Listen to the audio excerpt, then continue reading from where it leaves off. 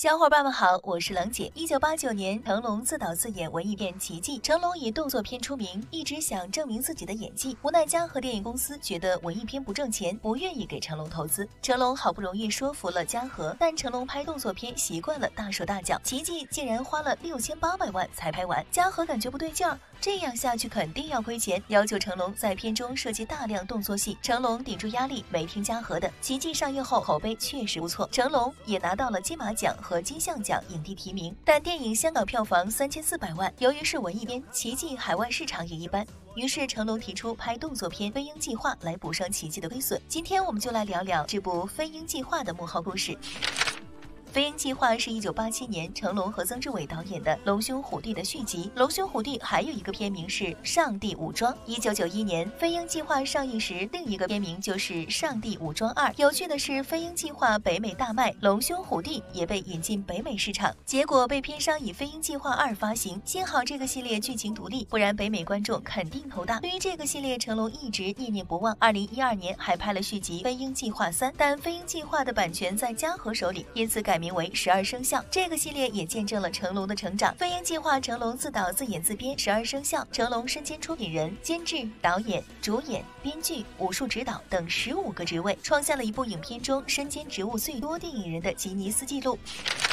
拍摄《飞鹰计划》时，嘉禾真是怕了成龙，好说歹说要求成龙缩减开支。毕竟上一部电影《奇迹》已经亏了，可成龙想拍一部国际化的大片，光是拍摄地就穿越亚非欧三大洲。电影拍摄时又意外不断，在摩洛哥，当地风沙太大，机器总是出现问题，导致拍摄进度缓慢。大哥对工作人员又大方，想想几百个人在异国他乡，衣食住行都是一笔极大的开销。地处沙漠，条件十分艰苦，剧组九成以上的员工都水土不服，女演员们经常抱头痛哭。这边拍摄困难，那边道具又出事了。剧组使用的道具钞票过于逼真，不知道怎么就在市场流通了。警方一度没收了电影胶片，眼看几个月的拍摄就要毁于一旦，剧组赶紧表明身份，联系律师，一通折腾才拿回了电影胶片。但负责道具的制片经理却蹲了三个月监狱。拍摄完必要的镜头后，剧组一刻都不想停留，带着伤员返回香港。成龙害怕意外，特意运了当地十吨沙子回来，在香港布景，就算补拍也不用回摩洛哥。等电影杀青，成龙已经一路超支，最终花了一点一。五亿港币才拍完，是当时香港最昂贵的电影制作。可惜《飞鹰计划》依然没能拿下香港票房冠军。一九九一年，周星驰的《逃学威龙》拿下了四千三百八十三万票房，《飞鹰计划》以三千九百零五万票房屈居亚军。幸好海外市场是大哥主场，《飞鹰计划》全球票房破三千九百万美元，轻松拿下当年全球华语片票房冠军。